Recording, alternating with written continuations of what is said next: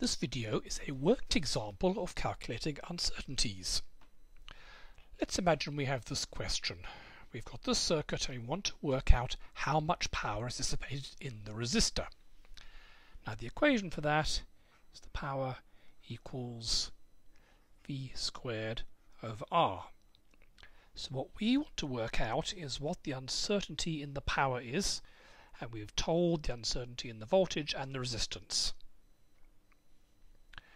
Now the power itself, the best estimate is just going to be plugging these numbers in. So that's 1.5 squared over 2, which comes out as 1.125 watts.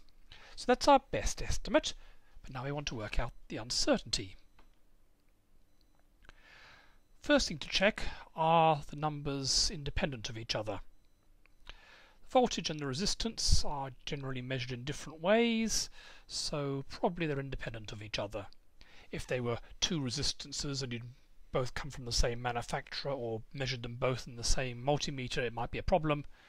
But even if you're using the same multimeter for these, it's in a different mode, so it's probably going to be independent. So we can use the equations for combining uncertainties. Now in this case, we've got a squared and an r. So we're going to need two different things. We're going to need to do the squared first. And the equation for that, if a equals b to the n, and if you remember, the equation is sigma a over a equals n sigma b over b.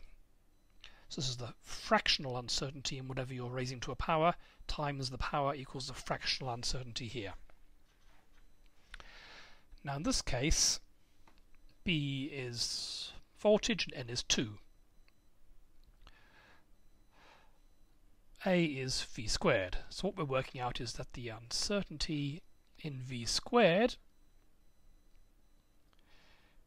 divided by V squared is going to be n, which is 2, times the uncertainty in v, which is 0.1, divided by v, 1.5, which comes out as 0.133. Okay, so we now know the uncertainty in the top of the fraction. Now we've got the fraction. So for fractions, if you remember, if A equals B over C or B times C or C over B, they're all the same, then the uncertainty in A over A squared equals the uncertainty in B over B squared plus the uncertainty in C over C squared. So the fractional uncertainty, whatever's on top, fractional uncertainty, whatever's in the bottom, square them both, add them together, that gives you the square of the fractional uncertainty of the answer. Okay, so in this case, b is v squared and c is r. And a is the power. So that tells us that the uncertainty in the power divided by the power squared equals the uncertainty in v squared divided by v squared squared, which is 0.133 squared, plus the uncertainty in the resistance divided by the resistance squared. So that is 0.2 over 2 squared. All of which comes out as 0. 0.0278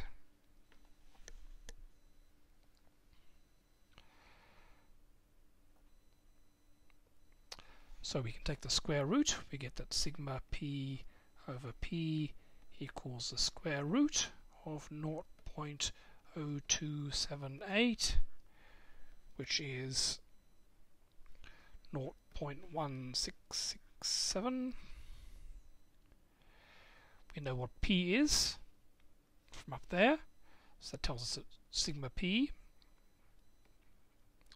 equals p times that equals 0.1667 times 1.125 equals 0.187. So our answer is the power equals 1.125 plus or minus 0.187.